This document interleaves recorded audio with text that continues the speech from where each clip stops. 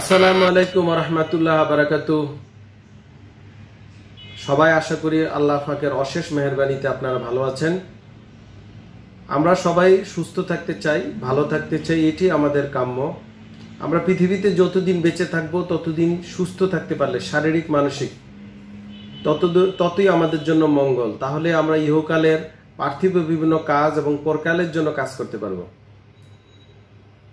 আমি আজকে যে বিষয় নিয়ে কথা বলতে চাই, সেটা হচ্ছে শ্বাসকষ্ট। শ্বাসকষ্ট একটা কমন সমস্যা। শ্বাসকষ্টজনিত সমস্যায় অনেকে ভুগে থাকেন।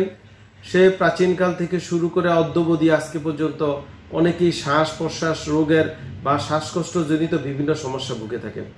তো কারও হঠাৎ শ্বাসকষ্ট হলে বা দীর্ঘমেয়াদী শ্বাসকষ্ট রোধে বাসায় কি চিকিৎসা করবেন, সেটা নিয়ে আলোচনা করব। এবং এই বিষয় নিয়ে আপনাদের একটা বেসিক ধারণা দেওয়ার চেষ্টা করব। আপনারা পুরো ভিডিওটি দেখবেন।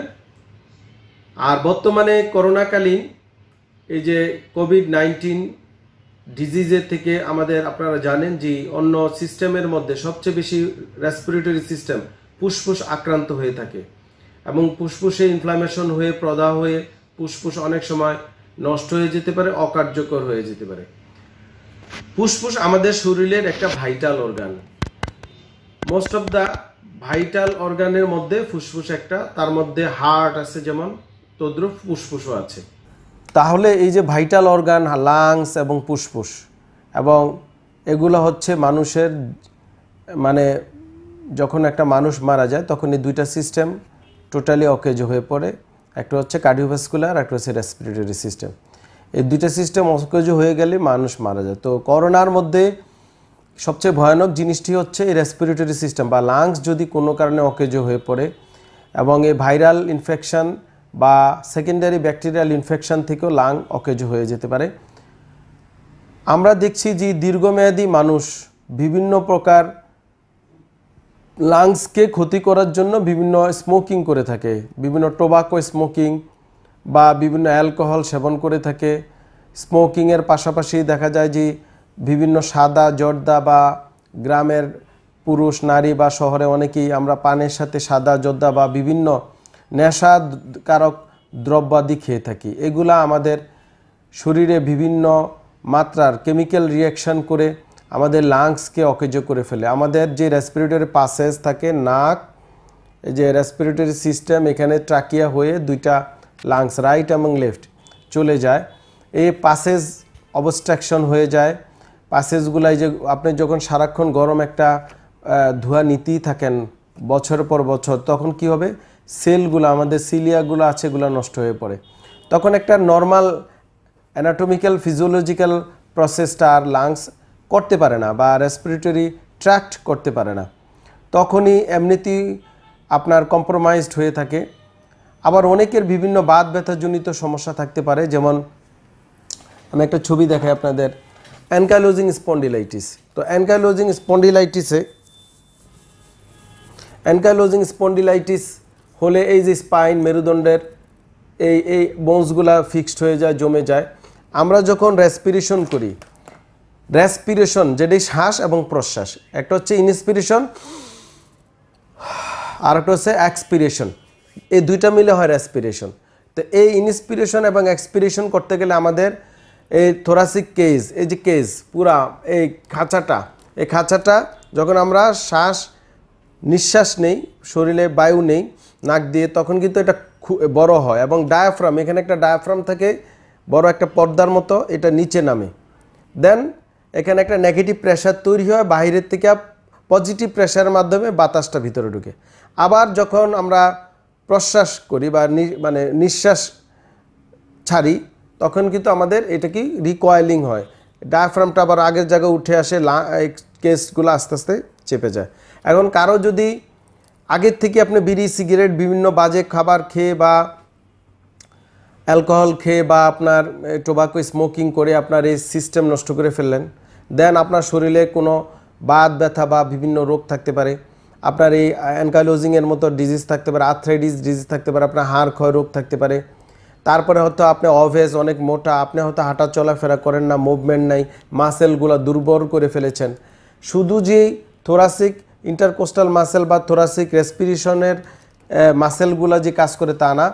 এখানে আমাদের শোল্ডার গার্ডেল গার্ডেল অনেক মাসেল আছে এখানে হ্যাঁ?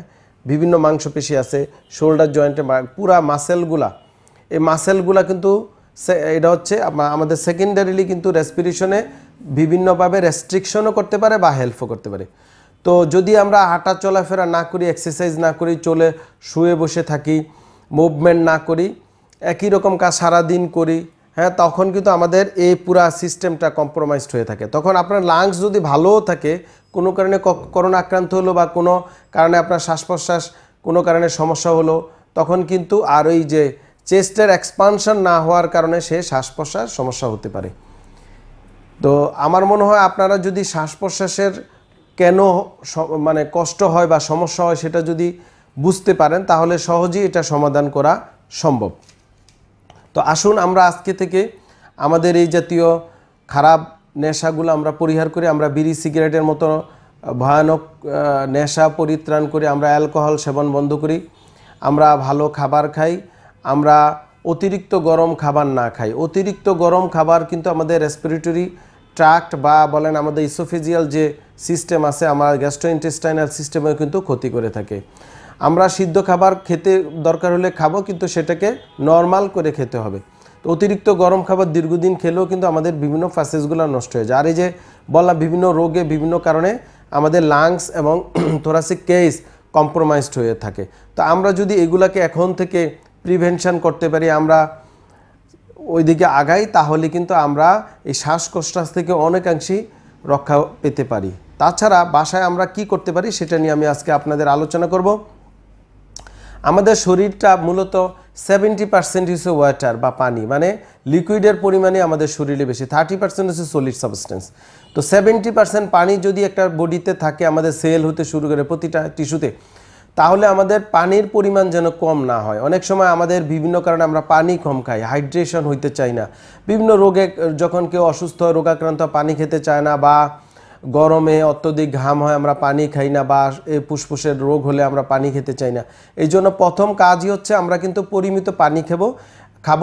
একজন একজন প্রাপ্তবয়স্ক পুরুষ চার লিটার পানি চব্বিশ ঘণ্টা খাবে এবং অবশ্যই বিশুদ্ধ পানি। আর একটা, একজন মহিলা সে ন্যূনতম তিন লিটার পানি পার ডে চব্বিশ ঘন্টায় খাবে। তাহলে আমাদের হাইড্রেশনের ঘাটতি পূরণ হবে। এবং আমরা এই ক্ষেত্রে বিভিন্ন এক্সারসাইজ করতে পারি। এখন থেকে এক্সারসাইজগুলো আমি কিন্তু ইউটিউবে আমার ভিডিও দিয়েছি অনেকগুলো চেস্টের এক্সারসাইজ এক্সারসাইজগুলো আমরা করতে পারি। যেমন আমরা ডিপ ব্রিদিং এক্সারসাইজ এর আগেও আমরা দিয়েছি। এক্সারসাইজগুলো আমাদের শ্বাসকষ্টা আহ, শ্বাসকষ্ট রোধে অনেক কাজ করে এবং অনেক ক্ষেত্রে দেখা যায় এক্সারসাইজ করলে কোনো অক্সিজেন এক্সট্রা অক্সিজেনের প্রয়োজন হয় না, রুগী এমনি ভালো হয়ে যায়। সেটা হচ্ছে কি, আমাদের যে নাক নাক দিয়ে আমরা বসে বা খাটে বসে বা যে কোনো জায়গায় দাঁড়িয়ে এটা করা যাবে না। বসে বা কোনো কিছুতে এভাবে হেলান দিয়ে হ্যাঁ শুয়ে বিছানায়, এভাবে আমরা শুয়ে নাক দিয়ে লম্বা শ্বাস নিয়ে হোল্ড করব। যে আমি দেখাচ্ছি, দেখেন আপনি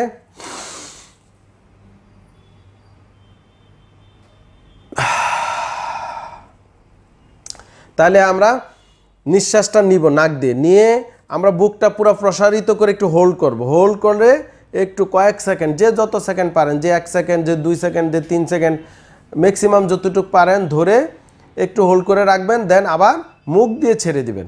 হ্যাঁ এটা হচ্ছে ডিপ ব্রিদিং এক্সারসাইজ আবার এটারে আপনারা মডিফিকেশন করতে পারেন। কীভাবে? ডিপ ব্রিদিং নাক দিয়ে নেওয়ার সময় চেস্ট একটু চাপ দিলেন কোস্টাল ব্রিদিং বলি আমরা। আবার এপিক্যাল ব্রিদিং এখানে চাপ দিয়ে করলেন। আবার ডায়াপারমেটিক ব্রিদিং ঠিক নাভির উপরে। আমাদের যেখানে, এই যে এখানে যে আমাদের জিফয়েড প্রসেস আছে বা আমরা এখানে কি বলি, এটা করি। হুম? এটা নিচে হাত দিয়ে ধরে। এটা করতে পারি। তো এগুলো আমাদের কিন্তু অনেকাংশে হেল্প করে। অনেক ভিডিও আগেও আমি দিয়েছি, আমার ইউটিউবে একটু দেখে নেবেন, আরও ডিটেলস দেওয়া আছে। এতে কিন্তু আমরা শ্বাস প্রশ্বাস বা শ্বাসকষ্ট হলে আমরা প্রিভেনশন করতে পারব। দুই হচ্ছে পশ্চারাল ড্রেনেজ এই জিনিসটা সম্পর্কে অনেকের আইডিয়া নেই। পশ্চারাল ড্রেনেজ এটা আমরা চেস্টের বিভিন্ন রুগীদের করে থাকি সিওপিডি রুগী বা অ্যাজমাটিক রুগী বা চেস্ট সার্জারির পরে বা থোরাসিক সার্জারির পরে বা হার্টের সার্জারি পরে বা লাংসের সার্জারি পরে। সেটা হচ্ছে আমাদের এই করোনাতেও দেখা যায় যে আমাদের যে মিউকাস সিক্রেশন হয় আমাদের লাংস বিভিন্ন পাসেস থাকে। আমরা তো শ্বাস নিতে গেলে আমাদের ওখানে এয়ারওয়ে থাকে, ঠিক না? এয়ারওয়ে যদি অবস্ট্রাকশন থাকে, তখন কিন্তু শ্বাসকষ্ট হবে। তো এই পাসেসটা আমরা ক্লিয়ার করতে গেলে আমাদের, এই যে আমি বসে আছি, আমাদের লাংসটা কি? নিচে মোস্ট অফ দ্য অ্যালভিউলাই বড় অংশগুলোর নিচে। লাংসটা হচ্ছে কি শেফ এরকম উপরে চুঙ্গার মতো উঠছে, ঠিক না? উপরে, এভাবে উঠছে হ্যাঁ? লাউয়ের মতো, নিচে মোটা, উপরে চিকন, এভাবে। এ লাইক দ্যাট তো এই মোস্ট অফ দ্য নিচে অ্যালভিউলের নিচে থাকে এবং এগুলো এয়ারওয়েজ ডিরেকশন কিন্তু উপরের দিকে হ্যাঁ? তো এই জন্য আমরা এই শ্বাসকষ্ট হলে বিছানায় উপর হয়ে শুয়ে পড়ব। উপর হয়ে শুয়ে মনে করেন এই যে বিছানা, আপনি এভাবে উপর হয়ে শুয়ে পড়লেন হ্যাঁ উপর হয়ে। এভাবে এখানে দু তিনটা বালিশ দিয়ে এভাবে আমরা শুয়ে থাকতে পারি। এতে আমাদের এয়ার ওয়াইজগুলো ক্লিয়ার হয়ে আসবে। এভাবে যদি আধা ঘণ্টা, এক ঘণ্টা শুয়ে থাকি, আবার বিভিন্ন পশ্চারে এইভাবে শুয়ে থাকতে পারি, আবার আমরা আস্তে আস্তে এইভাবে শুইতে পারি, উপরে শুইতে পারি, নিচে বালিশ দিয়ে শুইতে পারি, এই মুখটা একবার ডান দিকে কাত হয়ে শুইতে পারি, আবার বাম দিকে কাত হয়ে শুইতে পারি, আবার রাইট ইনক্লাইনেশন এভাবে শুইতে পারি লেফট ইনক্লাইনেশন এভাবে শুয়ে থাকতে পারি।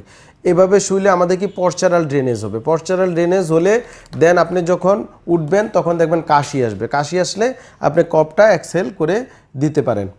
তারপরে হচ্ছে আমরা কি করি? বিভিন্ন পজিশনিং শ্বাসকষ্ট হলে ইম্পর্টেন্ট রাতে হঠাৎ আপনার শ্বাসকষ্ট হয়ে গেলে আপনি ভয় পেয়ে যাবেন। নো ডোন্ট মানে ওরিড হবেন না। প্রথমত আপনি একটু কুল থাকেন রিল্যাক্স হওয়ার চেষ্টা করেন, দরজা জ্বালানা খুলে দেওয়ার চেষ্টা করবেন এবং আমরা পর্যাপ্ত পর্যাপ্ত আলো বাতাসের দরকার। রাতে তো আর আলো পাবেন না, বাতাস।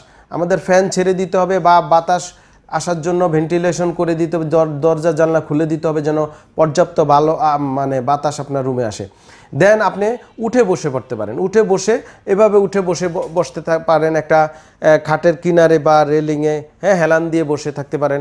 এতে শ্বাসকষ্ট অনেকাংশে মিনিমাইজ হবে। অথবা সামনে এভাবে ঝুঁকে, এভাবে দুইটা বালিশ দিয়ে সামনে ঝুঁকে নিলিং আমরা বলি ফরওয়ার্ড ফরওয়ার্ড ফরওয়ার্ড অবস্থায় সামনে কাইফোসিস অবস্থা বা নীল অবস্থায় সামনে ঝুঁকে আপনি বালিশ দিয়া একদিকে মাথা দিয়ে ভেবে শুয়ে থাকতে পারেন। এই পজিশনগুলো আপনার খুবই ইম্পর্টেন্ট মানে শুয়ে থাকলে সেটা কিন্তু শ্বাসকষ্ট বেড়ে যেতে পারে। এই জন্য বসে ফেলতে হবে। এবং বসে আপনি পিছনে হেলান দিয়ে বসতে পারেন বা সামনে ঝুঁকে এভাবে বসতে পারেন বা আপনার বিছানার পিছনে কয়েকটা বালিশ দিয়ে ইনক্লাইন অবস্থা হ্যাঁ এইভাবে। এই যে এইভাবে আপনি শুয়ে থাকতে পারেন ইনক্লাইন অবস্থায় এতে শ্বাসকষ্ট অনেকাংশে অনেকাংশে কমে যেতে পারে। অথবা কাত হয়ে আপনি শুয়ে থাকতে পারেন। কাত হয়ে একটু ইনক্লাইন অবস্থায় শুয়ে থাকতে পারেন। তো এগুলা কিন্তু আমাদের দিস ইজ পজিশনিং ইমপ্রুভ করে আমাদের। অথবা আপনি দাঁড়িয়ে কোনো একটা কোনো একটা ওয়ালে এভাবে ধরে মাথাটা এভাবে দিয়ে অনেকক্ষণ থাকতে পারেন এতে শ্বাসকষ্ট কমে যাবে। অথবা পিছনে হেলান দিয়ে ওয়ালে, পিছনে হেলান দিয়ে সাপোর্ট নিয়ে কিছু একটা ধরে এভাবে দাঁড়িয়ে থাকতে পারেন। এগুলো আপনার কিন্তু শ্বাসকষ্ট অনেকাংশেই কমিয়ে ফেলবে। এরপর আছে থোরাসিক স্পাইন মোবিলাইজিং এক্সারসাইজ তো এটা আসলে একজন রিহ্যাবিলিটেশন স্পেশালিস্ট ছাড়া খুব অসম্ভব। তারপরও আমরা যেটা বলব মোবিলাইজিং এক্সারসাইজ করার জন্য যেমন আপনার শোল্ডার গার্ডেল মোবিলাইজিং করতে পারেন। এই মাসেলগুলোকে হাত উঠানো, নামানো হাত উঠানো, নামানো, তারপরে গার্ডেলে সামনে নেওয়া, পিছে নেওয়া হ্যাঁ? এই এক্সারসাইজগুলো আপনারা বাসায় করতে পারেন। এগুলো আস্তে, প্রতিদিন খুব আস্তে আস্তে করবেন, সময় নিয়ে নিয়ে করবেন। এতে আপনার এই মাসেলগুলো যে টাইট হয়ে থাকে কম্প্রোমাইজড হয়ে থাকে বা কোস্টাল ইন্টারকোস্টাল মাসেল এগুলা যে আপনার স্পাজম হয়ে থাকে, এগুলো ছেড়ে দিবে। তারপরে এভাবে ঘুরানো বডিটাকে এভাবে ঘুরানো হ্যাঁ? এগুলো আপনার এগুলো অনেকাংশে কিন্তু এই থোরাসিক স্পাইনটা কি টাইট হয়ে যেন না থাকে? মানে আমরা কেজটাকে কেজ কেজ আমাদের যে খাঁচা, এই খাঁচাটাকে ফ্রি করে দিব হ্যাঁ? প্রতিটা জয়েন্টকে ফ্রি করে দিব। দিলেন আপনার শ্বাসটা নিতে সুবিধা হবে। তো এই জাতীয় এক্সারসাইজগুলো আমরা বাসা এখন থেকেই করব। কারণ করোনা কিন্তু সহজেই যাবে না। অনেক বছর থাকবে। অনেকেই জানেন না, ভয় পেয়ে যান। আপনার আগেই শুয়ে, জ্বরের কারণে শুয়ে থাকা হয় বা বিভিন্ন রোগের কারণে বা শুধু করোনা না সিওপিডি যত রোগী আছে মানে শ্বাসকষ্ট bronchial asthma bronchiectasis bronchitis emphysema যত ডিজিজ আছে তাদের সবারই একই চিকিৎসা। এই হোম রেমিডি, এই বাসায় এই চিকিৎসাগুলো আপনারা নিয়মিত করবেন। এই শ্বাস, বুকের বিভিন্ন ব্যায়াম তারপরে আপনার এই শ্বাস এভাবে নেবেন আর হাত উঠাবেন হ্যাঁ এইভাবে। আবার সামনে। এতে কি হবে? আমাদের প্রত্যেকটা মাসেল ইলাস্টিসিটি থাকে ইলাস্টিসিটি বাড়বে। এতে শ্বাসকষ্ট অনেকাংশে আপনাদের কমে যাবে। তো অনেক ক্ষেত্রে দেখা গেছে রিসার্চে গবেষণায় দেখা গিয়েছে এসিটামিনোফেন যেমন আইভোফ্রোফেন জাতীয় পেইন কিলার তবে এটা ডাক্তারের পরামর্শে খাওয়া উচিত। এটা অনেকাংশে শ্বাসকষ্ট কমায় এবং বুকের এই যে কম্প্রোমাইজেশন অনেকাংশে কমিয়ে আসে। তো বাসায় আপনারা একটু আরও যেটা করতে হবে যে আপনাদের খাবারের একটা ইম্পর্টেন্ট ইস্যু যেই সকল খাবারগুলো আমাদের শ্বাস প্রশ্বাস রোধ মানে শ্বাসকষ্ট রোধে হেল্প করে থাকে, তার মধ্যে আপনারা হয়তো করে আসছেন। আমি আবারও বলে দিচ্ছি, লেবু নেবেন হ্যাঁ? যেটা কাগজি বা লেবু, আপনার যেটা বলি, লেবু লেবু বাজার থেকে কিনে সেটাকে ধুয়ে পরিষ্কার করে আপনার লেবুটা কেটে, লেবু ফ্রিজে রাখবেন না। লেবুর যে কাঁচা রসটা, এর রসটা সোজা খেয়ে ফেলবেন, চাপ দিয়ে। এটা অনেক উপকারে। প্রতিদিন অন্তত এক পিস লেবু দুই বেলা, সকালে আধা, বিকালে আধা বা রাতে আধা খেয়ে ফেলবেন। যদি ডাইরেক্ট লেবু খেতে না পারেন, লেবু ওই রসটা একটু মধুর মধ্যে দিয়ে বা একটা গ্লাসে একটা গ্লাসে পানির মধ্যে কুসুম গরম, একটু গরম পানি নেবেন, অল্প। হ্যাঁ বেশি গরম পানি নেওয়া যাবে না। একটু লেবুর রস চাপ দিবেন এবং এক চামচ মধু দিবেন, অরিজিনাল মধু। দিয়ে নাড়িয়ে সেটা সকাল বিকাল দুবেলা খাবেন। তাহলে কিন্তু আপনার শ্বাসকষ্ট অনেকাংশে কমে যাবে। অথবা কাঁচা লেবু ডাইরেক্ট খাওয়া যায়, যেটা কিন্তু এই খাবারটা অনেক উপকারী। তারপর হচ্ছে কাঁচা হলুদ। কাঁচা হলুদের, পরিমিত কাঁচা হলুদ নিয়ে সেটা রসটা আপনারা ওই মধুর মতো মদ দিয়ে খেয়ে ফেলতে পারেন। প্রতিদিন এক বেলা করে খেলেই হবে। আমাদের রিসার্চে দেখা গিয়েছে যে গ্রিন টি গ্রিন টি যে আপনারা চা খান, চার মধ্যে যে আদা চা এবং গ্রিন টি দুইটাই কিন্তু অনেক উপকারী। শ্বাস প্রশ্বাস মানে আমাদের লাংস ফিল্ডকে ক্লিয়ার করতে এবং শ্বাস প্রশ্বাস সুন্দর রাখার জন্য, ভালো রাখার জন্য গ্রিন টি আমরা খেতে পারি। তারপরে আমাদের তরকারির মধ্যে লাউ বা কুমড়া, এই জাতীয় খাবার, এই জাতীয় খাবার আমাদের শ্বাস প্রশ্বাস ক্লিয়ার রাখতে বা শ্বাসকষ্ট রোধে অনেক উপকারে আসে। তারপরে মরিচ, কাঁচা মরিচ, আপনারা কাঁচা মরিচ তরকারিতে খেতে পারেন বা কাঁচা খাবারের মধ্যে মরিচ খেতে পারেন, সেটা অনেক উপকারে আসবে। এবং মিষ্টি রুট মিষ্টি রুট বলতে কি বোঝানো হয়েছে? যেমন গাজর মানে যে সকল রুট রুট মাটির নিচে থাকে মিষ্টি, গাজর, এগুলা মানে শ্বাস প্রশ্বাস রোধে অনেক উপকারী। হ্যাঁ গাজর আপনারা কাঁচা খেতে পারেন চাবিয়ে। তারপরে হচ্ছে যত গ্রিন সবজি আছে, সবজি, যত সবুজ সবজি আছে, সবুজ সবজি কিন্তু শ্বাস প্রশ্বাস শ্বাসকষ্ট রোধে অনেক উপকারী। তারপরে বিদেশি ফল, আপেল যদি বাংলাদেশে পাওয়া যায় না, আপেল আমি খেতে বলি না কি জন্য? প্রচুর প্রিজারভেটিভ দেওয়া থাকে, বিভিন্ন দেশ থেকে আসে। এগুলা খেয়ে অনেক সময় আরও ক্ষতি হয় মানুষের। তবে আপেল যদি আপনি একেবারে বাহিরের অরিজিনাল পান, যেগুলা ভেজাল নেই, সেগুলো আপনারা খেতে পারেন। তাহলে এই যে খাবারগুলো কিন্তু আমাদের শ্বাস প্রশ্বাস রোধে অনেকাংশেই হেল্প করে, যেগুলো আমি ইতিপূর্বে আপনাদেরকে বললাম। আরেকটা হচ্ছে বাসায় আপনারা কুসুম গরম পানি ভাপ নিতে পারেন। কুসুম গরম পানি নিয়ে মানে বা গরম পানি করে ভাপ নেওয়া যেটা বলি, নাক দিয়ে। তবে প্রতিদিন একবার বা দুইবার, খুব বেশি নেওয়া যাবে না, চার পাঁচ মিনিট আর বেশি না। বেশি নেওয়ার দরকার নেই। কুসুম নাক দিয়ে ভাপ নেবেন। এটা কী হয়? আমাদের এয়ার ওয়াইস পাসেসটা গরম পানির কারণে ক্লিয়ার হয়ে যায়। এই যে ভাফ ভিতরে গেলে পাসেসটা ক্লিয়ার হয়ে যায় এবং আমাদের ভাফ এটা কিন্তু প্রাচীনকাল থেকে খুব কার্যকরী চিকিৎসা। এটা আমরা নিতে পারি। আর পরিমিত পানির সাথে আমাদের, আমরা বিভিন্ন অন্য চাগুলো খেতে পারি। কুসুম গরম পানি খাওয়া, কুসুম চা বা চা খাওয়া, রং চা খাওয়া, এগুলো আমাদের অনেক উপকারে আসে। তো অনেক ফেতে ক্যাফেইনের কথা বলা হয়েছে উপকারে আসে। তো সেটা অ্যাভেলেবেল থাকলে আপনারা খেতে পারেন। তারপরে হচ্ছে আপনার নরসল যেটা আছে আমাদের যে নর্মাল স্যালাইন নর্মাল অনেকে নাক বন্ধ হয়ে থাকে হ্যাঁ? নাক নর্স নেজাল পাসেস বন্ধ হয়ে থাকে। তো এক, দুই দুই ফোঁটা এই নাকে, নরসল এই নাকে দিয়ে শুয়ে থাকবেন কতক্ষণ? দিয়ে রাখলে দেখবেন নাকটা পাসেসটা ক্লিয়ার হয়ে যায়, যেটা point nine percent normal saline যেটা আছে। এটা নরসল দেওয়া যাইতে পারে, এটা নাক পাসেস আমাদের ক্লিয়ার করতে সহায়তা করে। তো এই যে হোম রিমিডিগুলো বললাম বাসায় যে যার মতো করে খুব নিয়মিত যদি করেন যাদের শ্বাসকষ্ট আছে বা হঠাৎ শ্বাসকষ্ট হলে এই এই এই টিপসগুলো আপনারা চেষ্টা করে দেখতে পারেন আর এই খাবারগুলো নিয়মিত খাবেন। তাহলে আমাদের ইনশাল্লাহ আশা করি যে কোনো শ্বাসকষ্ট হলে আপনারা ভয় পাবেন না। আরেকটা হচ্ছে ওই বাসা অক্সিমিটার রাখবেন অক্সিজা অক্সিমিটার। একটু এটা দাম বেশি না এখন অ্যাভেলেবেল অক্সিমিটার আছে। আবার অক্সিমিটার অনেক সময় ভুল রিডিং দেয়। হ্যাঁ, ভুল রিডিং দেয় আপনারা বুঝিয়ে দিই আমি। এই যে অক্সিমিটারটা দেখছেন হয়তো অক্সিমিটার সম্ভব হলে দুই কোম্পানির দুইটা রাখবেন, না হলে একটা রাখলেও অসুবিধা নাই। অনেক সময় ভুল রিডিং যে মেশিন তো দিতে পারে। তো সেটা আপনার নিজের সাথে আপনি বুঝবেন যে আপনার শ্বাসকষ্ট হচ্ছে কিনা। রিডিং যদি ভুলও দেয় নব্বই দেখাচ্ছে সিচুয়েশন কিন্তু ইউ হ্যাভ নো শ্বাসকষ্ট, আপনার কোনো সমস্যা হচ্ছে না, এটা নো রিড হওয়ার কোনো কারণ কিন্তু যদি দেখেন হ্যাঁ রিডিংয়ের সাথে শ্বাসকষ্ট মিলে যায়, তখন হয়তো আপনার চিকিৎসা প্রয়োজন হতে পারে। তো আমরা পঁচানব্বইয়ের নিচে না গেলে অক্সিজেন দিতে অত একটা বলি না বা অত রিড হওয়ার কোনো কারণ নেই বা পঁচানব্বই নিচে যদি স্যাচুরেশন রেট নেমে যায়, তখন অবশ্যই অক্সিজেন প্রয়োজন হতে পারে, চিকিৎসকের পরামর্শ নিতে হবে বা হাসপাতালে চলে যেতে হবে। তার উপরে থাকলে আপনারা এই রিমিডিসগুলো করতে পারেন পর্যাপ্ত খাবার এবং টিপসের মাধ্যমে।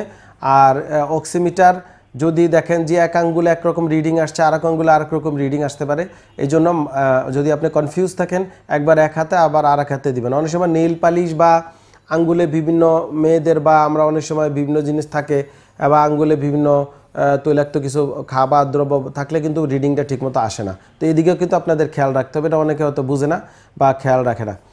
তো আশা করি ভিডিওটি আপনাদের উপকারে আসবে এবং মানব কল্যাণে উপকারে আসুক। আল্লাহ ফাক রাজি খুশি থাকুক এই জন্য ভিডিওটি দিয়েছি। এরকম আরও ভিডিও দেওয়া আছে প্রচুর। আরও ইনশাল্লাহ আল্লাহ পাক বেঁচে থাকলে ভিডিও দিতে থাকব। আপনারা আমার জন্য দোয়া করবেন। আর এই জিনিসগুলো আপনারা চেষ্টা করবেন। ইনশাল্লাহ বাসায় শ্বাসকষ্ট থেকে মুক্তি থাকতে পারবেন। সবাই ভালো থাকবেন।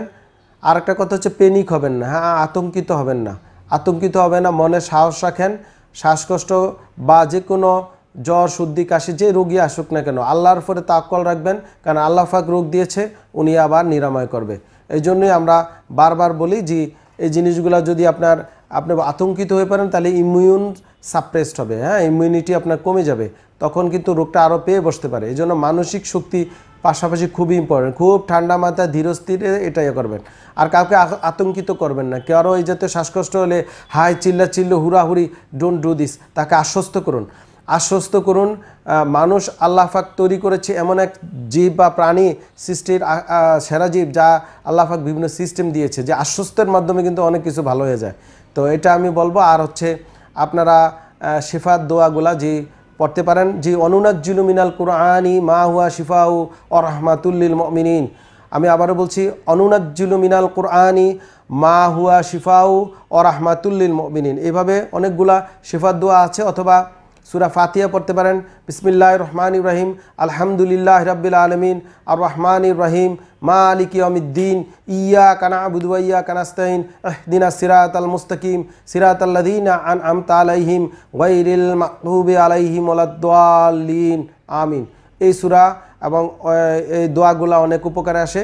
পাশাপাশি আপনারা সাইন্টিফিক ওয়ে চিকিৎসা নেওয়ার চেষ্টা করবেন। শ্বাসকষ্ট থেকে সবাই মুক্ত থাকুন। করোনাকালীন শ্বাসকষ্টে ভয় পাবেন না। সবাইকে আল্লাহ হেফাজত করুক, বালা মুসিবত থেকে রক্ষা করুক, ইহকাল এবং পরকালে সাফল্য লাভ হওয়া তৌফিক দান করুক। আমিন। আসসালামু আলাইকুম রহমতুল্লাহ আবরকাতু আমরা জানি আপনার প্রিয়জন আপনার জন্য কতটা গুরুত্ব বহন করে, আর তাই সঠিক ডায়াগনস্টিক রিপোর্টের জন্য আপনারা আমাদের কাছেই আসে। আমরা বিশ্বাস করি প্রপার ডায়াগনোসিস কনসালটেশন পেইন ও প্যারালাইসিস চিকিৎসা, পুনর্বাসন আমাদের সব আয়োজনই সব সময় আপনাদের জন্য চব্বিশ ঘণ্টা খোলা।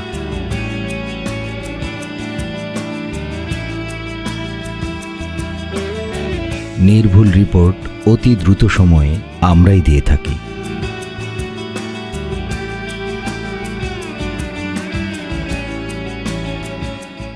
আমরা চাই না আপনারা বারবার আমাদের কাছে ফিরে আসুন, তবুও আমরা আছি সব সময় সর্বদা আপনাদের পাশেই।